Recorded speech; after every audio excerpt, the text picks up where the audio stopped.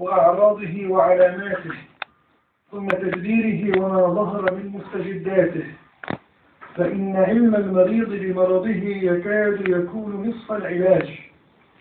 إذ يجعل المريض على دراية عامة بمرضه وما كشف الله لأولي العلم من أحواله.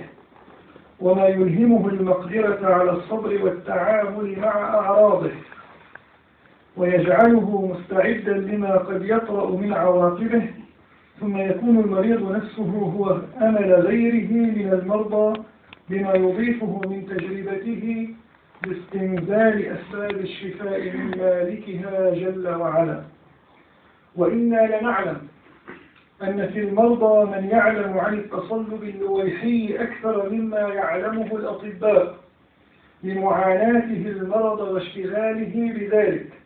ولكن فيهم من هو قريب عهد بالمرض وكلا الطرفين مستفيد بإذن الله. وهذه الندوة هي سند لسابقاتها وتبع وأود نهاية أن أشكر لكم مجيئكم على ما قد يكون جر عليكم من المشقة والعنت وأشكر كل من كان له يد وباع في عقد هذه الندوة والترتيب لها.